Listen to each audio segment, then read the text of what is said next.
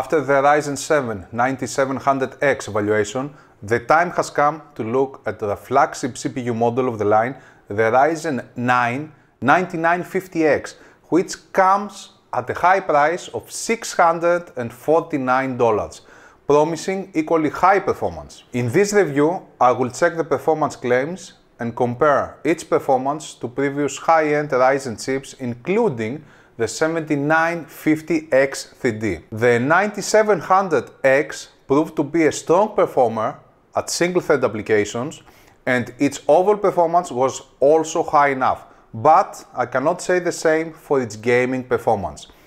Given all above, I expect something similar from the 9950X. I have already extensively analyzed the architecture details and the features of the AMD 9000 series processors in my Ryzen 7 9700X review, so I won't repeat them here, just to make this video last longer.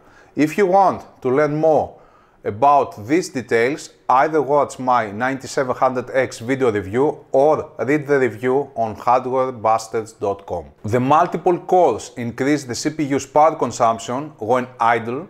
Power consumption also increases in single-threaded apps, which is natural since the extra cores do nothing but still require some energy.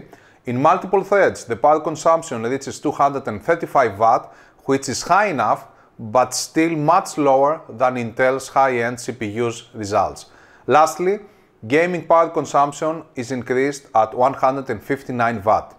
I obtained the peak power consumption readings shown in this graph during the start of the Prime 95 benchmark. After the power spike, the CPU's power consumption is steady at around 240 watt. The maximum operating temperature is set at 95 degrees Celsius, but I was notably below that with a good air cooler. The improved heat spreader and the lower thermal resistance between it and the CPU's die led to these good results. So, even uh, with a high-end cooler and not an all-in-one as AMD suggests, you can keep the 9950X at low enough temperatures under full load. Contrary to the 9700X, which didn't like overclocking much, my sample at least, the 9950X gained something from overclocking. So, the steps you have to follow to proceed with the CPU's overclock are the following. Enable PBO Advanced and set limits to motherboard. Set PBO scaler to between 7 and 10. Set CPU boost clock override to somewhere between 100 MHz and 200 MHz. The best for my CPU was at 100 MHz. Enabling Ryzen Master Auto Overclock does all above with a single click, so you can do that without messing with the BIOS settings. You can even set a manual CPU clock, but you must also set an operating voltage manually. This setting overrides any precision boost overdrive settings. I wouldn't advise messing with this overclocking option unless you know what you are doing because setting a high vCore value can cause permanent damage to the processor. A crucial step is to enable the expo profile of your RAM DIMMs, if they have one. This will ensure the best possible RAM performance without any headaches. The maximum overclock gain I achieved was 5.43% on all threads which is a decent improvement, given that you only have to press a button in Ryzen Master for auto overclocking. You can increase the gain by devoting more time to manual settings. The overperformance is high enough, but still the 7950X3D has a notable lead. Please note that this graph includes gaming performance and AIDA64 score, where the new 9000 series seems to have compatibility issues. With gaming not included, the 7950X3D still has a notable lead. I should note here though that the CPU's performance is very low in the AIDA AES benchmark for some reason, affecting the overall performance score notably. Because the CPU's performance in AIDA's AES bench is low, I included overall performance scores with both gaming and AIDA64 benchmarks excluded.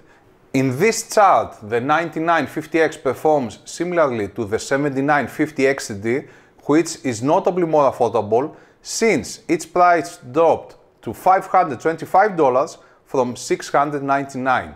This was the case, at least at the time of this video. The 7800 X3D remains the top choice for gaming, followed by the 7950 X3D.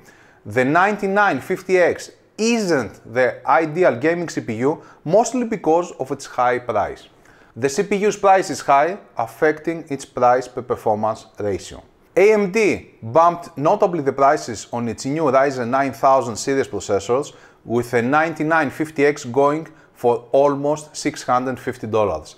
The problems that Intel currently faces lead to limited competition for AMD, so most likely it took the opportunity to increase the price of its products since for the moment it is the only player in the field. Not having a strong competitor is a problem mainly for all of us consumers, I hope that AMD won't fully exploit this situation until Intel gets back on its feet or until another competitor arises in this CPU market, which would be the ideal scenario.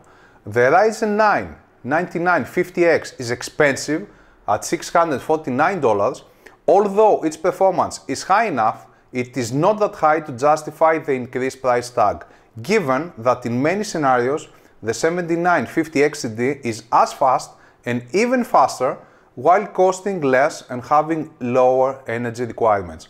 Especially in gaming, the X3D processors are a, one-way road, leaving the 9000 series processors far behind. In rendering the 9000 series at strong performance, Still, in my DaVinci Resolve benchmark, the performance difference between the 9950X and the 7950X3D is still not that high. Power consumption is increased, especially compared to the highly efficient 7950 X3D processor. The difference reaches 85 watt in multi-threaded applications and in gaming it is close to 61 watt. With a peak power consumption of 286 watt, and an average of 237 watt during blender, it is clear that this CPU requires a strong cooling solution if you want to exploit its capabilities since the better the cooling, the higher its clocks will be. I used the Noctua NH-D15 G2 despite AMD's recommendations for water cooling to retain compatibility with all previous CPU results. I didn't notice any issues since the temperatures were kept in control. I know this cooler is super expensive, but you can easily find way more affordable alternatives offering strong cooling performance. Or you can follow AMD's advice and use an all-in-one with at least a 240mm radiator. The major competitor for the 9950X is no other but the 7950X3D or the 7800 X3D if you care mostly about gaming. Both CPUs are way more affordable than the 9950X, which makes me wonder why AMD used this pricing scheme for its new processors. I look forward to a 9950 X3D with lower power consumption and increased gaming performance. Hopefully, AMD will also lower the prices of its new processors to make them more appealing. That's all guys. Bye bye.